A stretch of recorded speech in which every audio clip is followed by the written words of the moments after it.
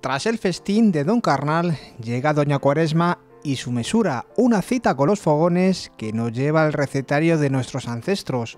Recuperamos así los nutritivos guisos de cuchara. Ingenio y legumbres convierten al potaje de vigilia en invitado indispensable cada viernes de Violacia Cuaresma. Un buen tomate natural, una cebolla, la claveamos con clavo para darle un aroma y lo intenta, yo lo, pongo así para no perderlos y que no se mezclen con la legumbre.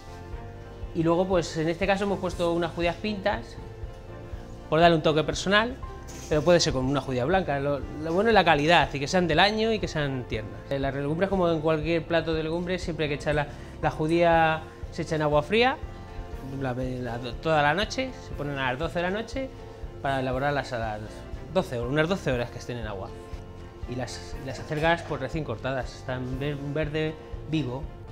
Al cobijo de los fogones el potaje cobra consistencia de color y calor, ideal para jornadas frías en La Mancha.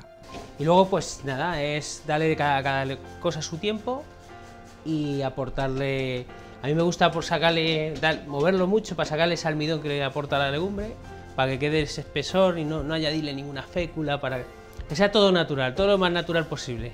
Ya en la mesa, al potaje se le puede acompañar con un tinto joven. Sí, por la fuerza de la consistencia del plato, de la legumbre, de que para que no tape los matices del vino y combine bien. Una manera distinta y saludable para disfrutar de la mesa sin caer en venir el pecado de las carnes.